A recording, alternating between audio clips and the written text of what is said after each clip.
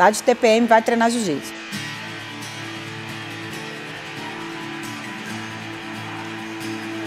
Comecei a treinar em 98. Quando eu treinava, é, não tinha, era, era muito difícil ser mulher. Era, ainda existia um preconceito, né, em relação ao jiu-jitsu, porque era um esporte muito masculino. Naquela época, o jiu-jitsu não tinha essa repercussão que tem hoje, é, essa divulgação que tem hoje.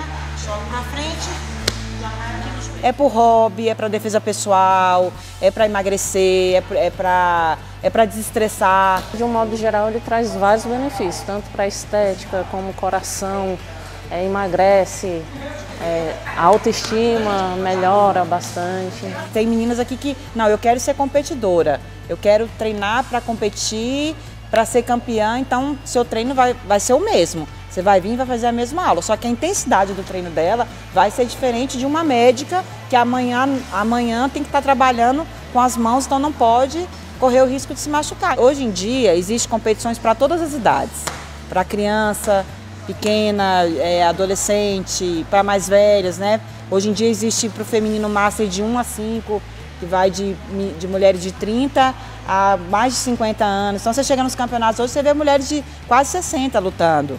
Eu considero o esporte muito fantástico, belo. Eu sou apaixonada, então assim, enquanto eu puder competir, eu, eu vou estar competindo. Quero ser uma campeã e, só, e eu vou ser a melhor faixa preta do Brasil.